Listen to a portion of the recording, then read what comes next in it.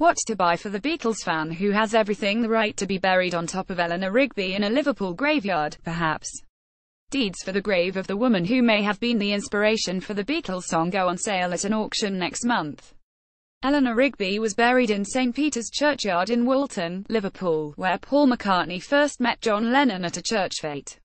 A certificate of purchase and a receipt for the grave space will be sold in a lot with a miniature Bible, dated 1899 and with the name Eleanor Rigby written inside. They are expected to sell for between £2,000 and £4,000. They will go under the hammer alongside the original handwritten score for the song, which is expected to fetch £20,000. Paul Fairweather, from Omega Auctions, which is selling both lots, said each item is fantastic, unique and of significant historical importance in itself so to have both to come up for auction at the same time is an incredible coincidence and it will be exciting to see how they perform. I expect there to be fierce bidding from across the globe. Eleanor Rigby's name was immortalized in the song which was released as the B-side of Yellow Submarine in 1966.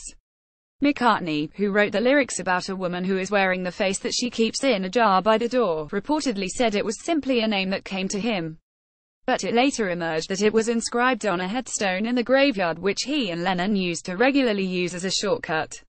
Deeds for the grave space, purchased in October 1915 by Eleanor's grandmother Frances, were discovered by a relative when the estate of two of Eleanor's half-sisters was left to the family.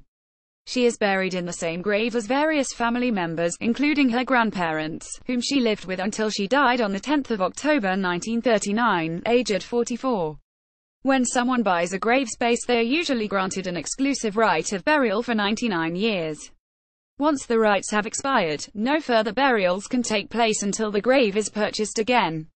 The law allows the disturbance of human remains after 75 years from the date of the last full burial in the grave. The last person to be buried in Eleanor Rigby's family grave was laid to rest in 1949, 68 years ago. Theoretically, then, whoever buys the deeds could be buried alongside the Rigby family in seven years' time. The score, handwritten in pencil, is signed by producer George Martin and McCartney and notes that the song was to be recorded in Abbey Road Studio No. 2 and was to include four violins, two violas and two cellos.